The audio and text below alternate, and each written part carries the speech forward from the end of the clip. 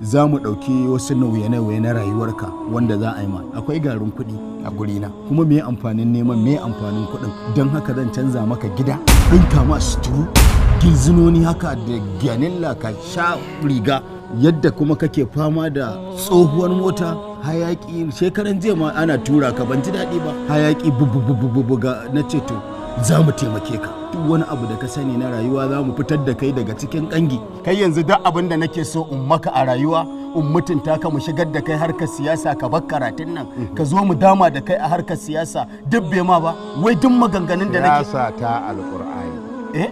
Ka yarda ko kar ka yarda. In tara yara in kara manya in yi karatu in karanta hadisan manzon Allah in karanta alkur'ani in karanta abubuwan da sahabbai suka yi na ba da gudunmawa a addinin musulunci. Shine aiki na shi na iya shi na koya shi aka koya min shi nake koyarwa shi zan yi. Kuma mun shirya dina muna so ka zo gurin kai ma a dama da kai ka ci abinci.